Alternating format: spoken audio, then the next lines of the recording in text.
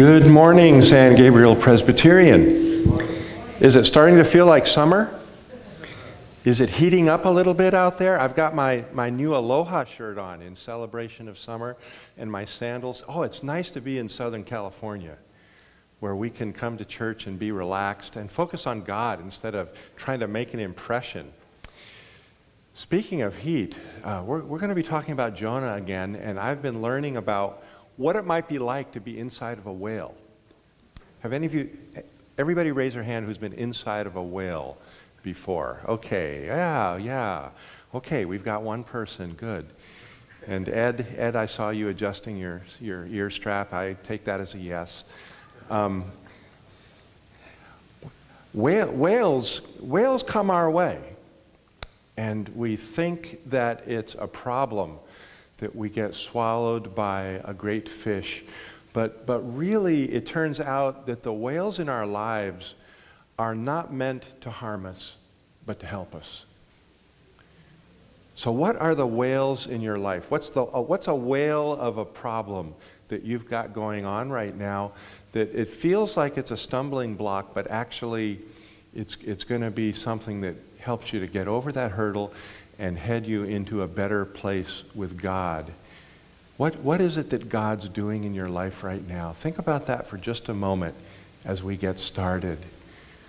Because we find God in everything that comes our way, especially here in worship right now as we begin to focus on Him and what He's doing in our lives. Let's prepare our hearts with a moment of prayer.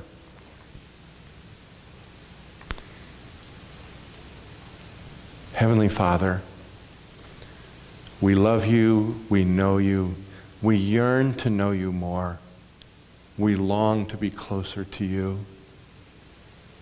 That as we are and as we're in you, that we can be the kind of people that you use to bring about your kingdom.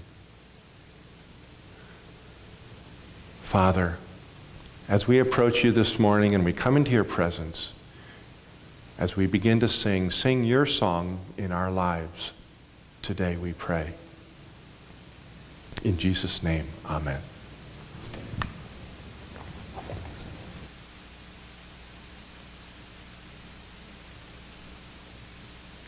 Good morning, everyone. We are going to have a call to worship, and it's in unison, so we're all going to read it together. It's from Psalms 100. Make a joyful noise to the Lord, all the earth. Serve the Lord with gladness. Come into his presence with singing. Know that the Lord, he is God. It is he who made us, and we are his. We are his people and the sheep of his pasture. Enter his gates with thanksgiving and his courts with praise. Give thanks to him Bless his name, for the Lord is good. His steadfast love endures forever, and his faithfulness to all generations. Amen. Good morning, San Gabriel. And that was a great way to open the service with Psalm 100, one of my favorites. And I would invite, invite you to um, stand and sing with us we act out the joy of that psalm. So if you're able, please rise.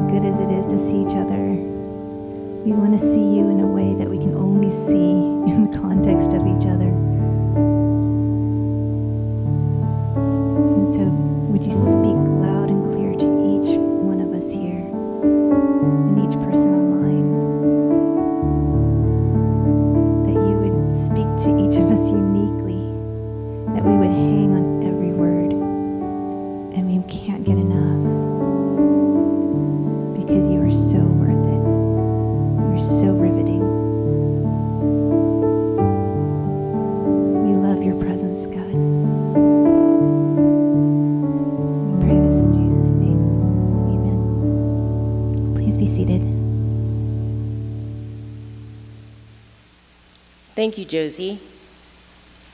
Uh, we're going to do announcements, but most of them, or all of them, are written in your bulletin, so I'll let you read most of them. I am going to emphasize that next week we are honoring dads and grads. So if you have a graduate, please try and come next week.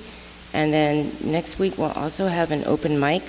So if you'd like to share about your father, uh, we'll give each one of you a couple minutes to do that.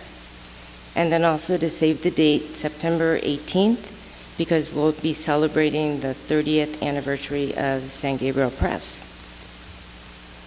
And now the scripture reading, it's from Jonah 1, verse 17. And if you remember previously, Jonah had just been thrown off the ship. And so now, verse 17. And the Lord designated a great fish to swallow Jonah. And Jonah was in the stomach of the fish for three days and three nights. And now, Pastor Matt.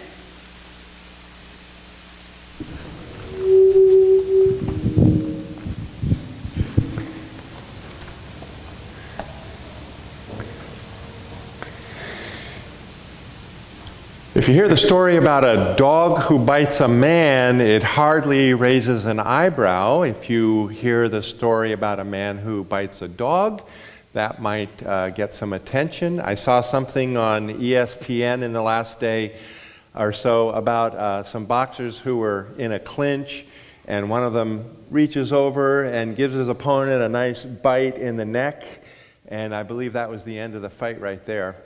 He got DQ'd. Um, when a man catches a fish, it isn't really news, but when a fish catches a man, that's something else. And when the man lives to tell the story, and that's our story. Verse 17 draws attention to just such an event, and that's all we're going to look at today. That one verse, Donna hardly got started and she was finished. Uh, and those of you who are in life group, I'm sure you were creative in finding lots to talk about just in one verse. I heard, I heard that some good things happened this morning, uh, Donna and Les, in your group. Among the thousands of great fishing stories, uh, this is one where the fish didn't have to get any bigger uh, as it was told and retold.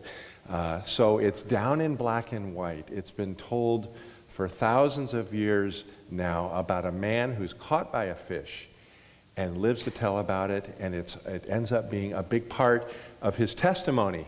As you can imagine him showing up in Nineveh and saying, You know, I got caught by this fish, and people stopped to listen and hear the rest of it.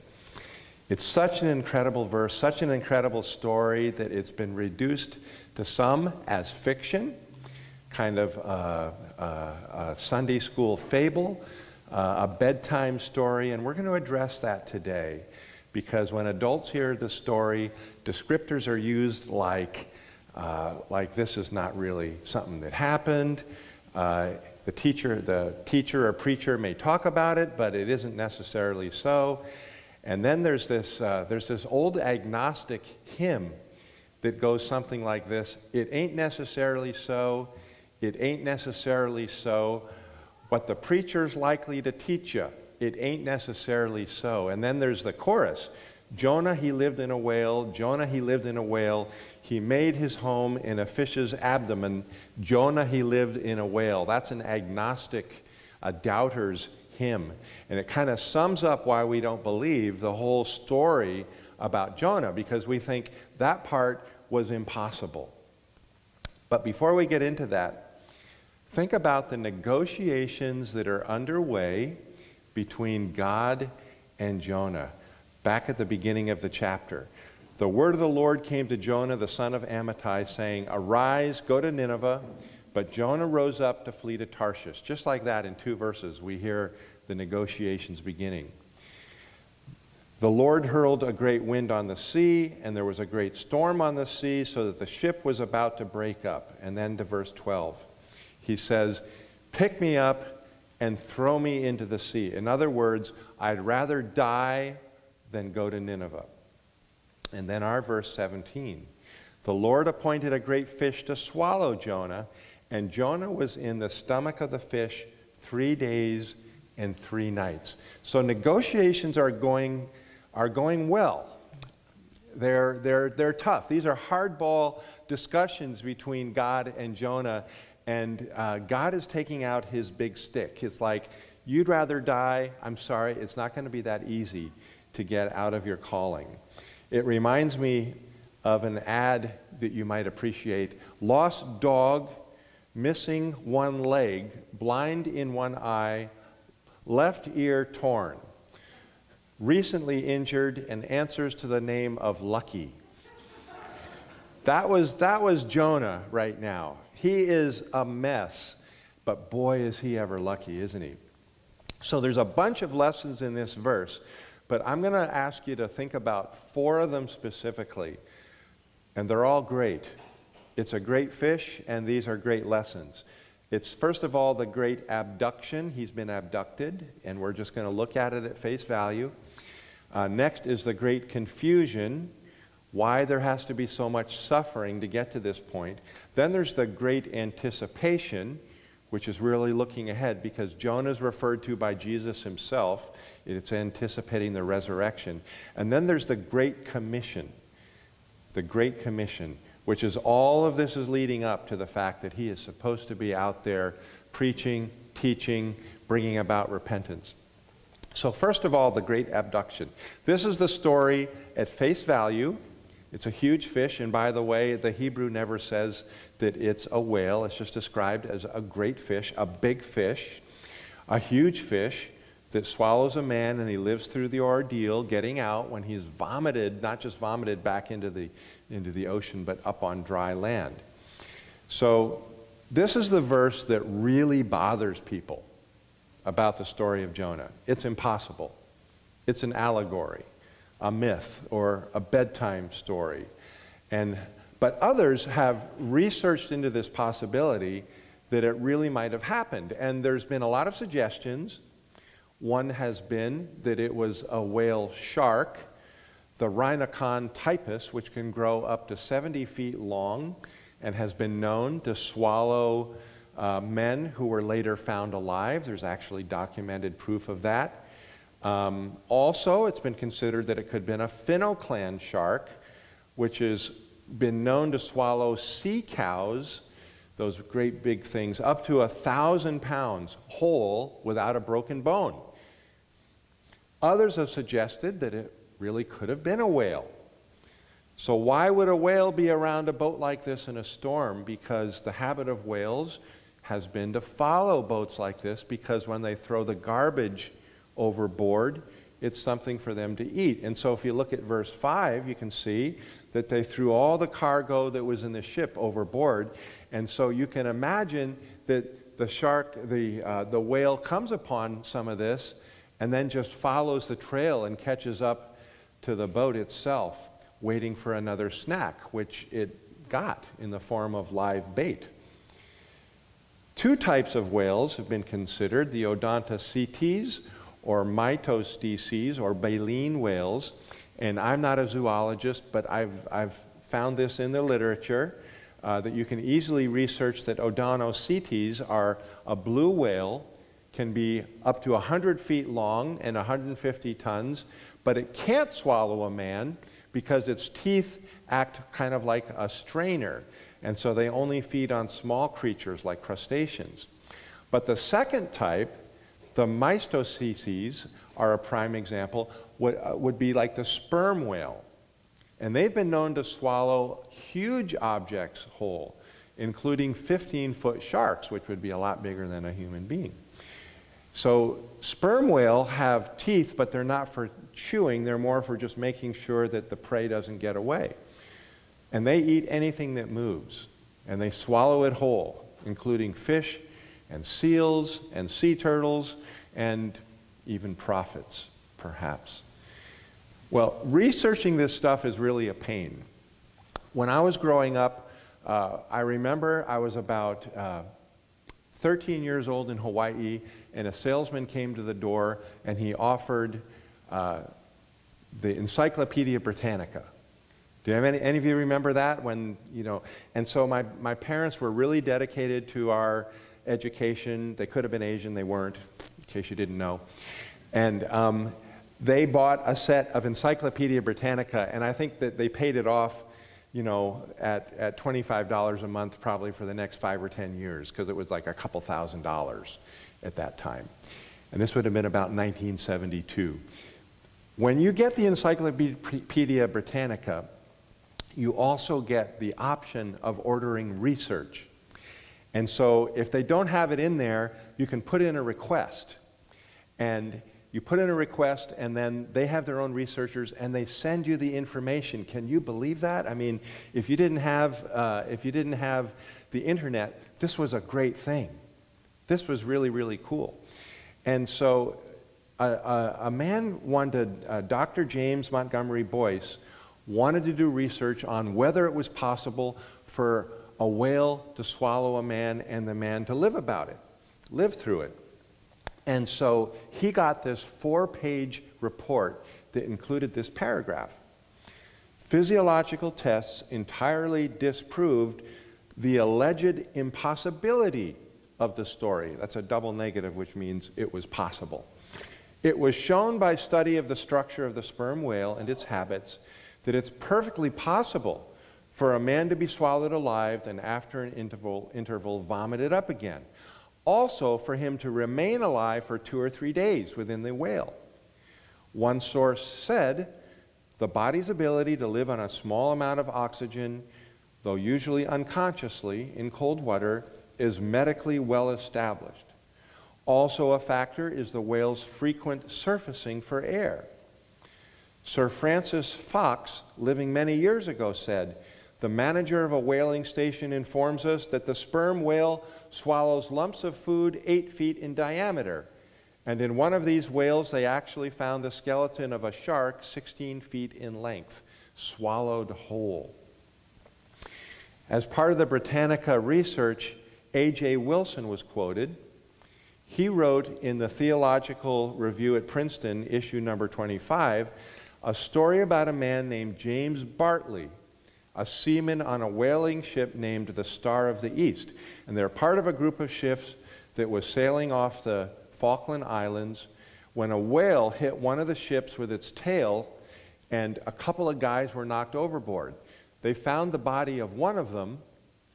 Uh, the other one they didn't find, so they presume, he was presumed lost. Well, not long afterwards, they harpooned a whale. They brought it up on board, and it would take several days to cut it into little pieces. You know, they'd, they'd take the flesh and they'd take the, the oil out of it for the old oil lamps. lamps.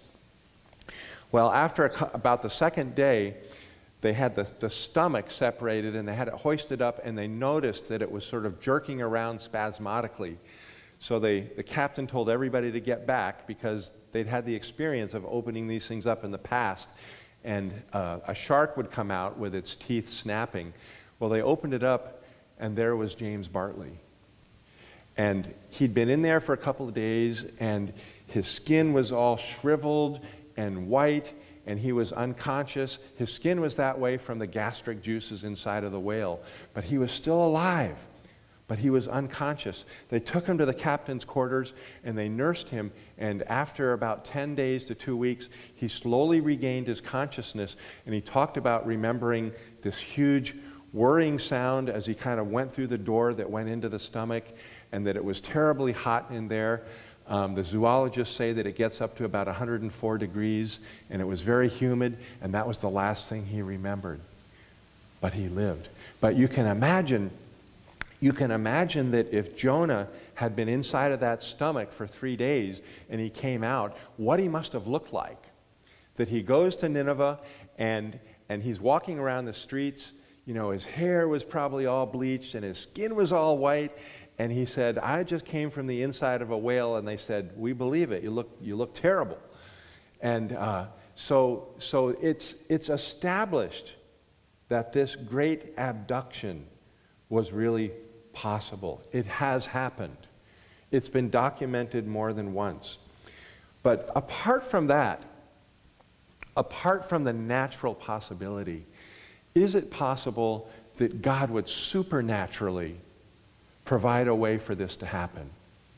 That God had put that storm out in front of Jonah and the ship, and he'd had the whale following behind, and that this was all somehow part of God's plan.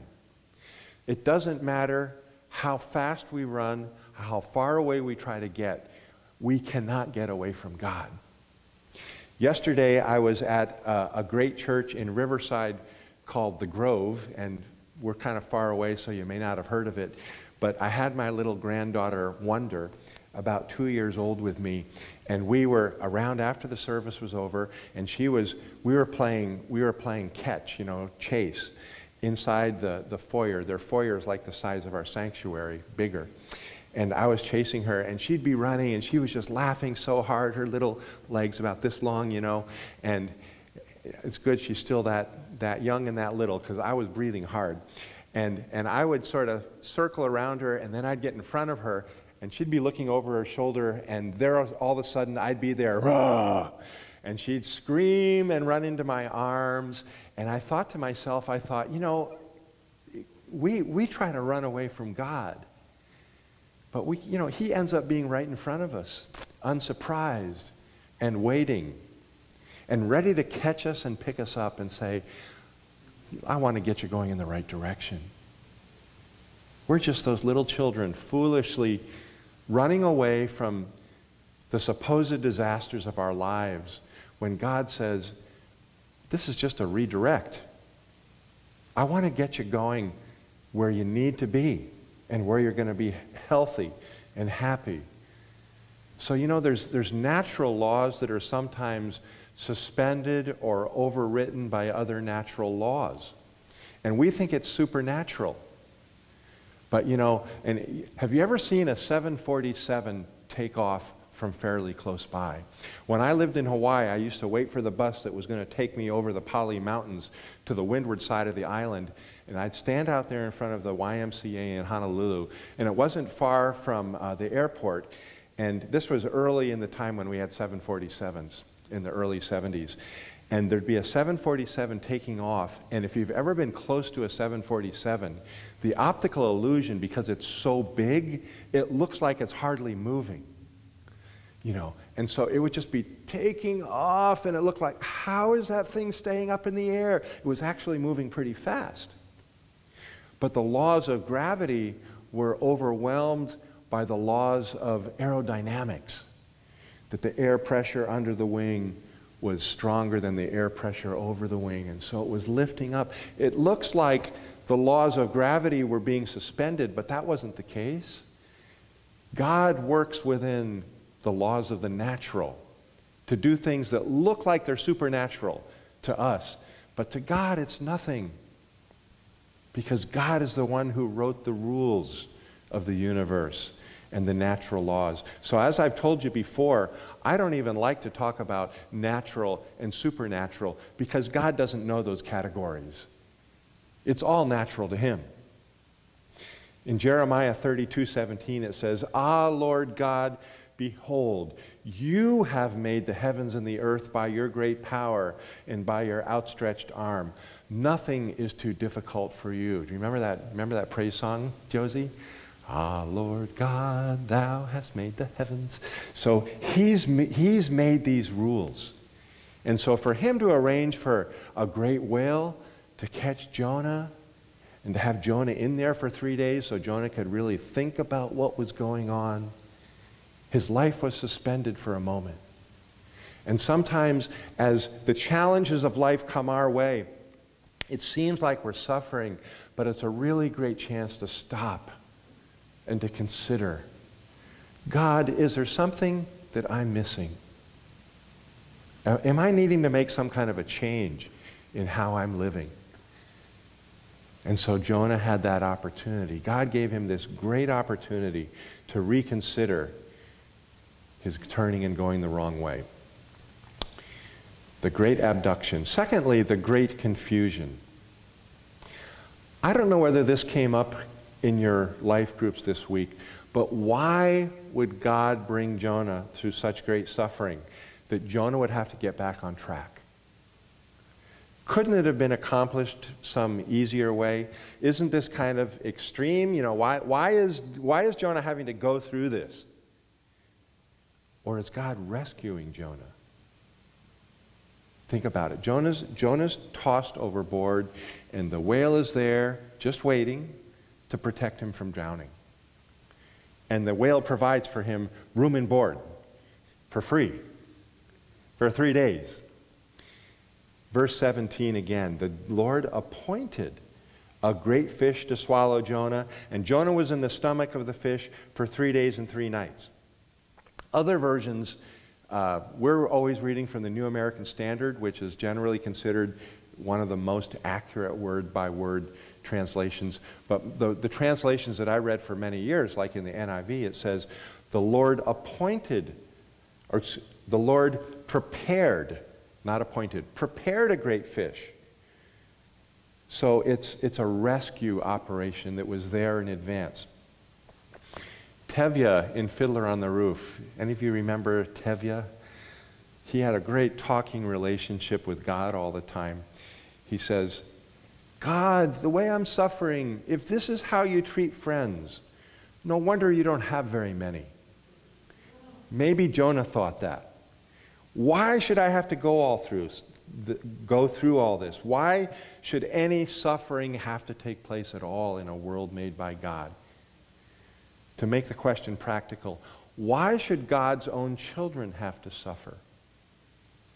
Well, first of all, because for Jonah it's a corrective. Why do we spank our children?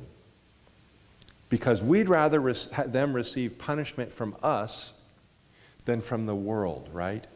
Or from people. Because it seems like they're learning a lesson the hard way, but no, the hard way is real life. Because real life can be harsh, and people can be harsh. In 1 Chronicles 21, some of you may remember that David has decided to take a census of the people. God has said, don't do that. But David wants to be able to raise money for the treasury. He wants to be able to have track of who all the people are so that he can raise an army. But his prophet comes to him and says to him, God's going to punish you for what you've done because you weren't supposed to do this. But you get to choose. You can either have three years of famine three years of being swept away by enemies, or three days of terrible pestilence, disease. And David says in response, I'd rather be punished by God than by man, because I know that God is merciful even when he punishes. And the prophet says to him, That's a good answer. We'd rather be punished by our friends and by our family who come and speak truth to us. We'd rather have God set us straight than be left to our own devices and to be left to the natural moral laws of the universe. And so we spank our children and we punish them not because we want them to suffer, but because we'd rather they suffer that a little bit than suffer life later on. Hebrews 12:6 For the Lord for those whom the Lord loves he disciplines for the ones that the Lord loves, he disciplines. C.S. Lewis said in his problem of pain pain plants a flag in the fortress of a rebel soul. Pain plants a flag in the fortress of a rebel soul. So not only is suffering corrective, but secondly, it's also constructive. It's like divine sandpaper. It, it's like chisel for a sculpture. Do you have any rough edges in your life? Is there anything that needs to get, get chipped away? Is it possible that God's doing some work on you? I'll ask your spouse about it. I like to do landscaping with river stones, and we had some of them here at the foot of the cross um, at Good Friday. And as you know, river stones are really smooth and they're beautiful, but they've gotten that way from a long time of, you know, thousands of years of the, the, the water rushing over them and smoothing them down and making them beautiful. Paul understood this principle. He had what he was what he called a thorn in the flesh. And we don't know what it is. There's been a lot of speculation by the historians and commentators, but Paul understood that if he was suffering in some way, that at the very least God was allowing it and God may have even been providing it for his humbling. To remind him that that you know, Paul was, was a genius. And he was powerful. And he said, You know, maybe I just need to be humbled. And he says, I asked God to take it away three times, but God just said, My grace is enough. What is it that you're going through that feels horrible, but God is, is, is smoothing you down and making you more beautiful? One of my friends said to me, I wonder if we've lost our loved ones, Matt, because they were ready. They were ready for heaven. But, but you, you needed some more time, that God's still working on you. Boy, it's a lot easier, isn't it? If we just let God have his way and we just give in and we let this stuff take place in our lives and in our hearts, that we just do the right thing. In James 1, the very beginning of the book, it says, Consider it all joy, my brethren, when you encounter various trials, knowing that the testing of your faith produces endurance. And let endurance have its perfect result, so that you may be perfect and complete, lacking in nothing. Samuel Rutherford in 1600s Scotland wrote a little quip. He said, Why should I tremble at the plowing of the Lord? making deep furrows in my soul. I know he's no idle husbandman.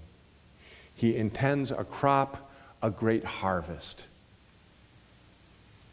So God may be plowing up our lives, but it because, it's because he's planting seeds.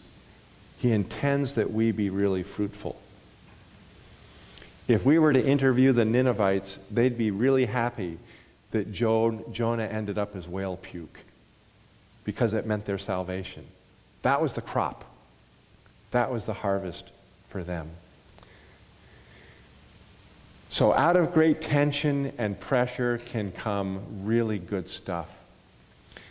Theodore Steinway, who put 243 strings on a steel frame that exerted 40,000 pounds of pressure on the frame, was creating the Steinway piano.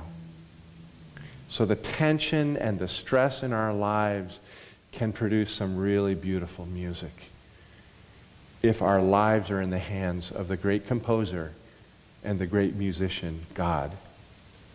So punishment can be corrective, it can also be constructive, but it's for the purpose, all of this in the case of Jonah was about number three, the great anticipation. The great anticipation. This is the only historical event that Jesus used as an example of his own resurrection.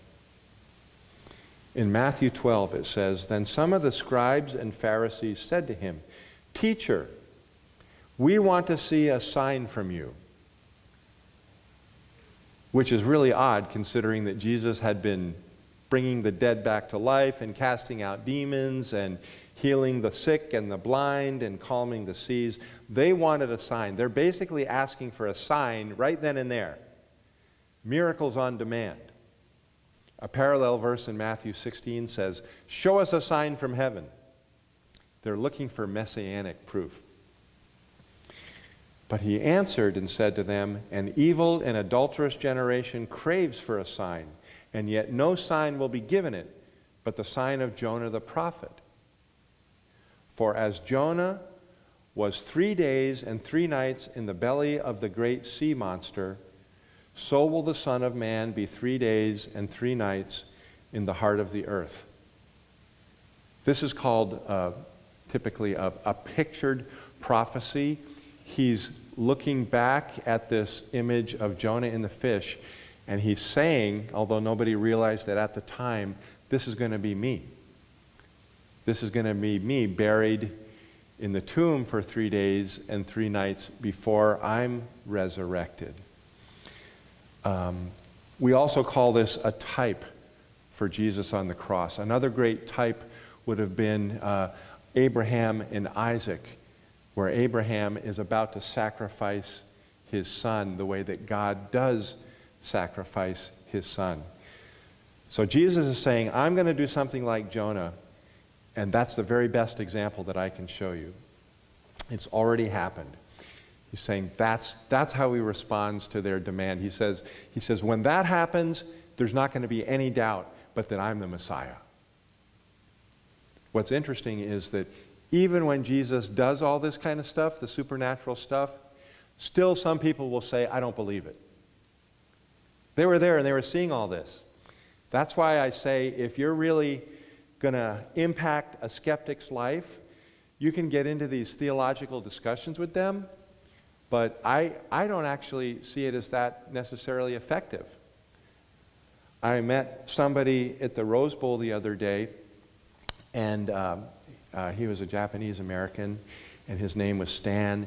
And he's, he found out I was a pastor, and he said, he said, you know, I have a lot of questions. Can we meet sometime? And I said, uh, I said, yeah, anytime. That'd be great.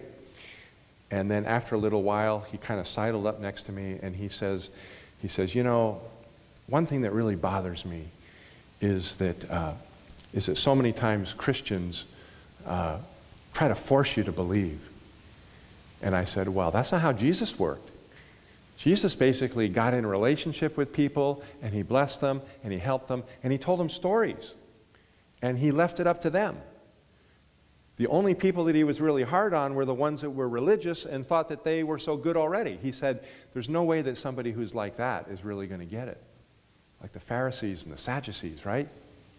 He didn't try to convince them. He didn't try to, he may have argued a little bit, but in most cases, he would just give examples. This is the way that life is in the kingdom. And, and so many times people said, they just immediately resonated with it. They said, oh, yeah. Yeah. And then they would, they would understand and they'd follow. When Stan, when, when Stan heard that, he said, Boy, I, he said, I really want to get together with you. I said, Well, you can ask your questions, but the very best thing is just start reading the Bible. I said, You're going to find out that it makes sense. He said, Let's go. And then afterwards, a friend said to me, Boy, I've been, I've been trying to convince him for a long time. I'm so happy that he, that he listened to you and he was willing. So, a lot of times, skeptics aren't really looking for answers. They're just trying to prove their point with us and win an argument. Verse 12 He said to them, Pick me up and throw me into the sea. Then the sea will become calm for you. For I know that on account of me this great storm has come upon you. This wasn't the best answer to them. You know, they didn't want to, remember the seaman, They didn't want to throw him in. They were really, in many ways, closer to God than Jonah was, which we find out with non Christians. A lot of times, God has been working on them. And he could have said to them, Hey, take me back to Nineveh. Turn the ship around. We're going back to Joppa. And immediately the, the seas would have quieted. But he didn't want to do it, he was avoiding it. He was avoiding his commission, he was avoiding what God had told him.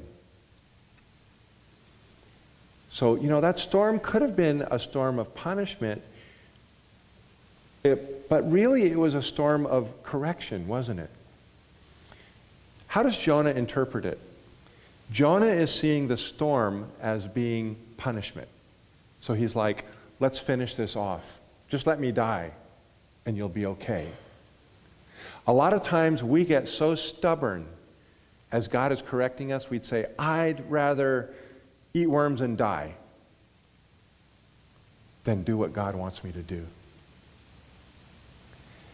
And we don't give God a chance to really get us back on the right track. We're so stubborn in our hearts that we don't we just don't do what he wants us to do. He's got this he's got this job to do. Look ahead to chapter 3, the beginning of the chapter, the first three verses, or two and a half verses. Now the word of the Lord came to Jonah the second time, saying, Arise, go to Nineveh, the great city, and proclaim to it the proclamation I'm going to tell, tell you. So Jonah arose and went to Nineveh according to the word of the Lord. Negotiations completed. Negotiations successful. God gets his way. It could have been so much easier, right? If Jonah had just, when he first got the word in verse 1, if he just packed up and headed east instead of west. Yes, sir. Right away, sir. Fortunately, God doesn't court martial him, didn't execute Jonah for desertion. So, you know, it seems like when we fail, God isn't so surprised. But God is an expert at chasing and catching and bringing home. So I'm chasing my little granddaughter yesterday and picking her up. And even though I caught her, it's a joyous moment. When we get caught up in our being away without leave, when we're deserted, it's a joyous thing. It's not a bad thing. But a lot of times we don't even pay attention to what's happening. Why are these bad things happening? Just to remind you, you have a calling, you have a great commission. And I've been talking to a lot of retired people lately, and I've said, What's your calling? It's tempting to think that when we retire, that we can retire from God's army. When I was in seminary, my mother's uncle, Matthew, her favorite uncle, for whom I was named, uh, came to me one time in the driveway of my grandmother's house, and he came up to me and he said, Some of the leaders of the church came to me and they want me to help with our new building campaign. And I told them, I've been serving. I've been serving the church and taking leadership for a long time, but I'm retired now. It's time for some of the younger people to take over. And he said, What do you think of that? And he was in his mid to late 70s, and I was about 50 years younger. And so I said, well, I'm sure that's, uh, that makes sense to me too. But I've started asking people this because a lot of us have had callings as, as, as nurses or pharmacists or teachers or working for the government, whatever it is that we've been called to do. And we retire and we think, now I can really sit back and relax and I can play. But there's no such thing as retiring when it comes to serving God but we may get a redirection. Now we've got more time to really serve God, and so it's a great time to reevaluate our calling. So we've all got a specific calling in our lives, but we've all got the same calling to serve God and to receive the Great Commission. Go out there and impact the world for Christ. The Great Commission is for everybody, and there's nowhere to run for it. We're meant to be out there, to receive here at church, but then to take the blessing and to share it with other people. A mark of Christian maturity is that we take the Great Commission seriously. It's one thing to show up for worship and to even spend time with God every day, but people who are really close to Jesus can't help but have compassion for the lost and the lonely. It's instinctive. We can't escape it. And if we're not feeling it, we've got to ask whether or not we're really close to Jesus. So it's kind of like a young man who's been pampered all his life, and he's been out there and he's been playing around, and he's wanted his toys, and he just wants to, at some point, he realizes that he needs to buckle down. And he goes to his father and he says, I want to be a part of the family business. I want to contribute. I want to help you. I've been messing around all these years, but I want to get serious and do my share. When a local church says, God, I understand what you're about. You have a global vision to bless people everywhere and to bring, bring them into the kingdom. I want to be a part of that. I'm with you. I'm in it to win it. That's a mark of maturity. Not just coming to church because it's a local love fest, a holy huddle, a little lift that we get from hearing about how nice God is and the kingdom. It's a decision to get out of the stands and onto the field. And it's way more fun to be in the game than to just be watching it. That's maturity. There's an article on the ESPN website right now about players who were injured and they were hurt, but they decided to get back in the game anyway. And they, they have two examples from uh, Michael Jordan in the playoffs.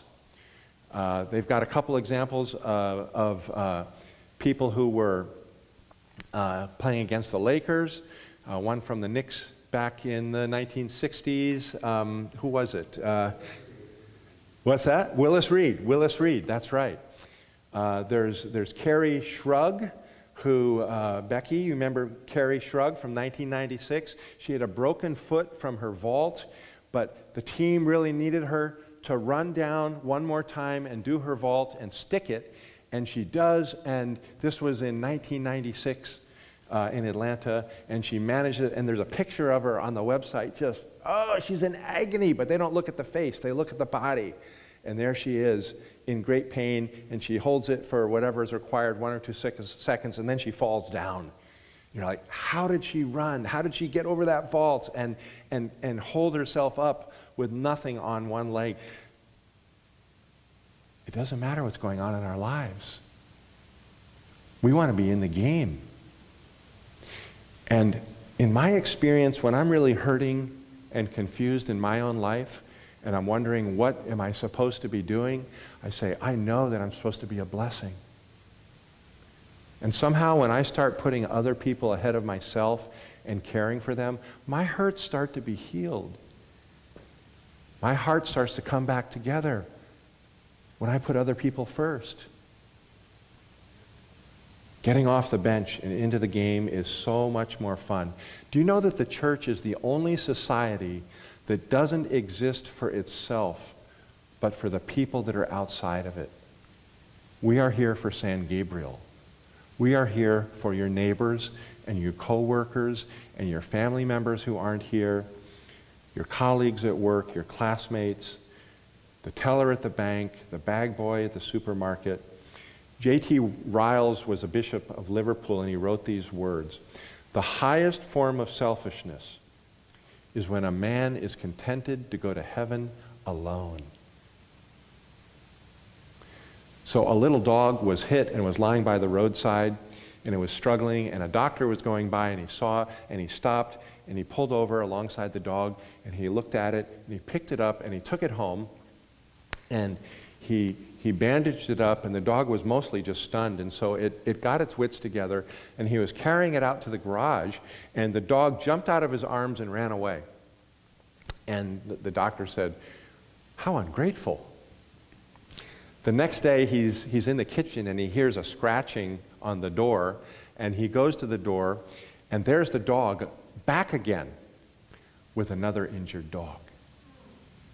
Yeah. That's why we're here. To bring the other messed up people. Do you know how many hurting people there are out there? And they're lonely. And they may put up a false front that they're okay and that they've got it together. But they're little lost doggies waiting to be brought to the one who can really help. And you may feel like what's going on in your life right now is all you can handle. But maybe you've been running west when you should have been going east.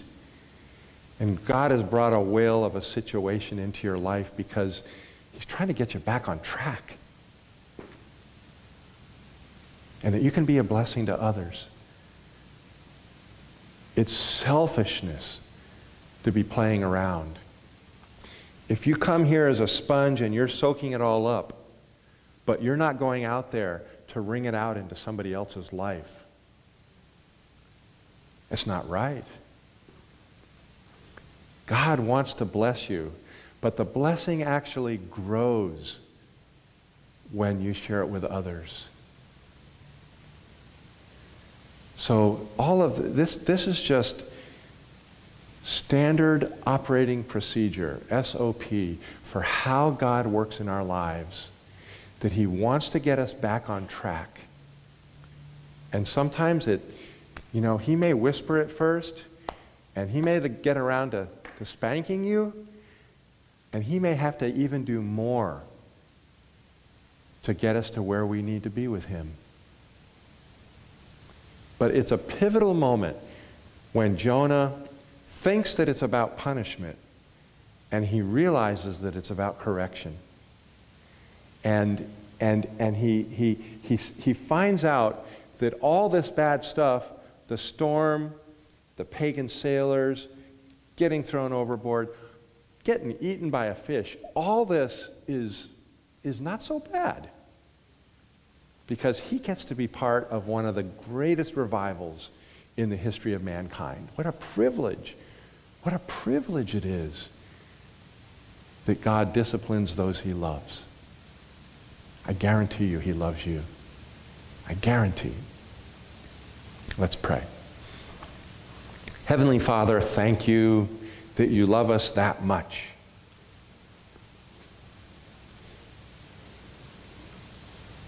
Can we just drive by and turn our backs and not care? We know that you care. So must we. And you've given this prayer, care, and share assignment that we be reaching out to even just two or three people for the sake of their coming to know Jesus. And we don't have to have words, we don't have to have answers, but that we just are consistent in loving people and blessing them and sharing with them our lives. Lord, we are people of the table. Teach us how to be hospitable with our homes, our time, our lives, that we care enough to be involved with others.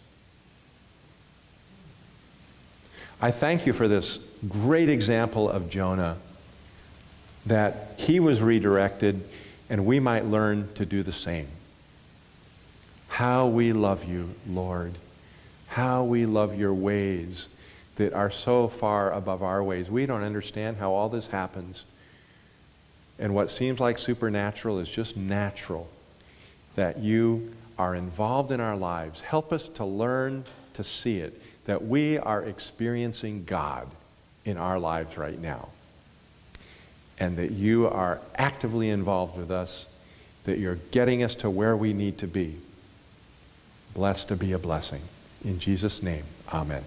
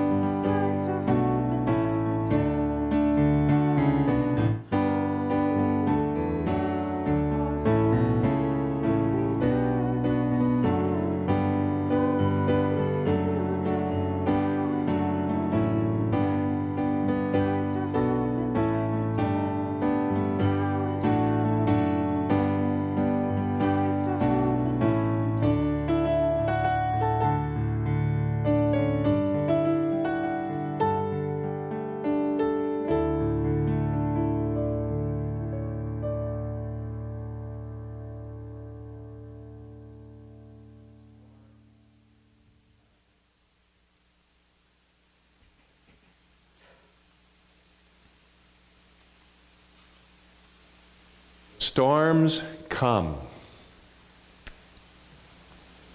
May they redirect us to the way in which we are called, that we may be part of God's great redeeming work in this world. The kingdom is upon us, the kingdom is here, the kingdom is coming.